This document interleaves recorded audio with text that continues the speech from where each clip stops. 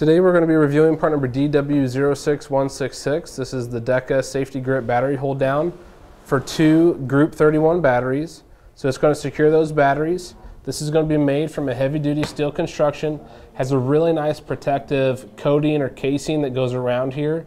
That way it's not going to do any damage uh, to your battery. It's also designed to resist acid, wear, and breakage. You're going to get one hold down and then these two mounts here. These are going to mount on whatever side you want to use. So for demonstration purposes, we'll put it over here. It's got the grooves that just slide down in the holds there. Now these are going to be where you bring your mounting posts up through and then you'll need to install some hardware and that's all going to be sold separately. Again, it's going to fit two Group 31 batteries.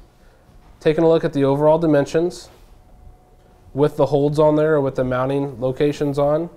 Edge to edge, that's going to be about 15 and 3 eighths of an inch. If we go this way, that's going to be about 13 and 5 eighths of an inch. I'm going to flip it over and give you the internal measurement. This is going to give us a measurement of 13 and 3 quarters of an inch by 13 and 1 8 of an inch. That's going to do it for today's review of part number DW06166. This is the Deka Safety Grip Battery Hold Down.